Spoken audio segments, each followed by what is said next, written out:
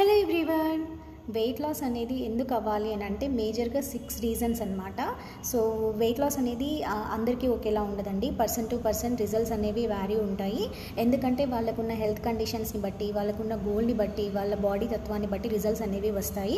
Okay and first one weight loss ఎందుకు అవ్వాలి అని అంటే uh, వెయిట్ లాస్ అవ్వడం వల్ల స్లీప్ క్వాలిటీ అనేది ఇంప్రూవ్ అవుతుంది. And second one heart health అనేది ఇంప్రూవ్ అవుతుంది. ఎందుకంటే వెయిట్ తగ్గడం వల్ల హార్ట్ మీద ప్రెషర్ తగ్గుతుంది కాబట్టి. అండ్ థర్డ్ వన్ లాంగ్ టర్మ్లో వచ్చే క్రోనిక్ డిసీజెస్ అనేవి రాకుండా చూసుకోవచ్చు. ఆ రిస్క్ అనేది తగ్గుతుందన్నమాట. Okay and fourth one fertility అనేది ఇంప్రూవ్ అవుతుంది. Okay and fifth one mental and emotional wellbeing అనేది బాగుంటుంది.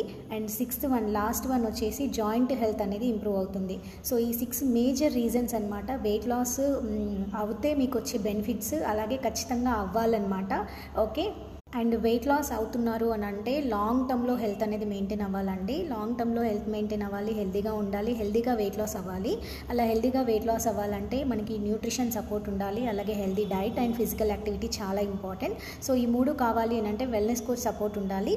సో ఎవరికైనా వెయిట్ లాస్ కావాలి అని అనుకుంటే కనుక డైరెక్ట్గా కాంటాక్ట్ చేయండి. అండ్ ఈ వీడియో కనుక మీకు నచ్చినట్లయితే follow my page for more details thank you